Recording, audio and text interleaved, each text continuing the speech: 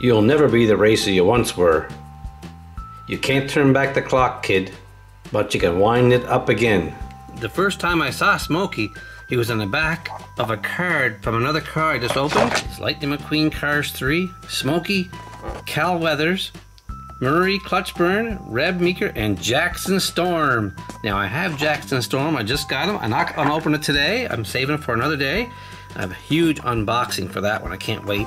But today, Smokey. I can't wait. Let's have a look at this guy here. And it reminds me so much of Mater at the back. I'll, wait till I get him out. I'll show you. Let's open it up.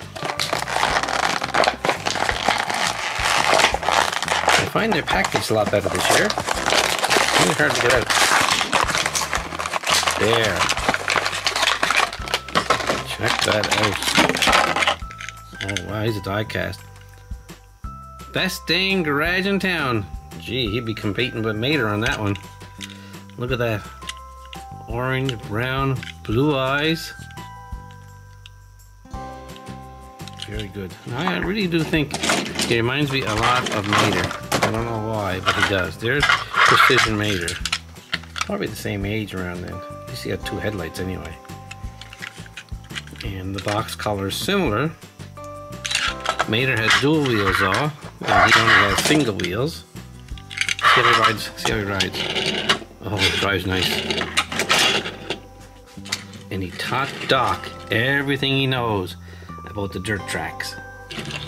And that's how Doc became the champion of all time. Smokey is a former Piston Cup team owner. He teamed up with fabulous Hudson Hornet back in the 50s.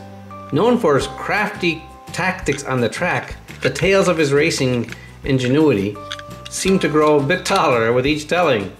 His gruff exterior and strong opinions served him well as a crew chief, and he's got arguably the best dang garage in town.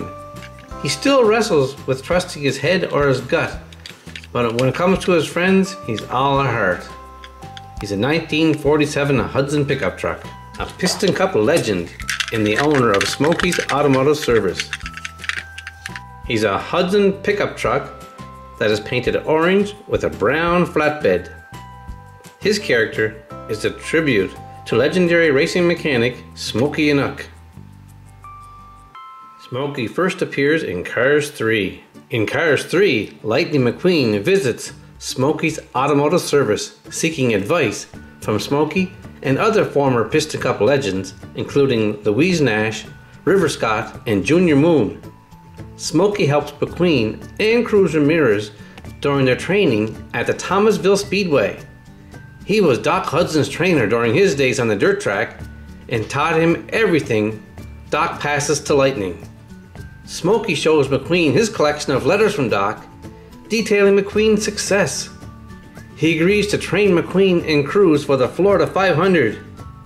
He's present when Cruz rejects Sterling's offer after the final race. I can't wait to see that movie. Smokey at first seems grouchy and grumpy. Uh, I wonder where Doc gets it.